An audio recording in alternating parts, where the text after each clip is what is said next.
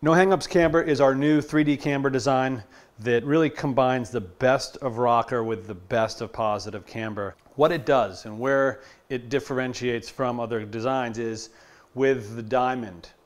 The No Hangups diamond is the platform that sits underneath your feet that starts wide in the middle of the board and narrows to rounded points just before the contact point what that area of the board does is it gives you the power, it gives you the directional stability, it gives you a point to load up an ollie that's almost all the way in your nose and tails contact points.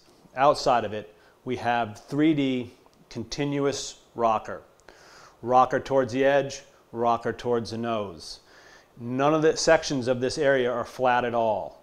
It's curvilinear, concave, similar to the nose and tail of a skateboard. Directly in the middle of the board, the diamond is in full contact with the snow.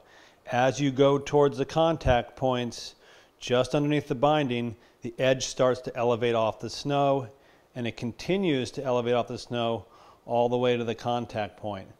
At this point, the edge is off the snow, but your diamond is not in the middle of the board. So you have full ollie power still in the nose and tail. No hangups camber comes in two different varieties, no hangups rocker and no hangups pop. The difference is in No Hangups Rocker, the diamond extends two centimeters short of the contact point.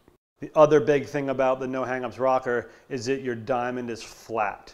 There's no camber to it. You have flat camber all the way to the ends of the diamonds and along the edges you have flat camber between the feet. The other type of no hangups camber that we design is no hangups pop. And as the name implies, it has a bit more energy and a bit more response than the no hangups rocker.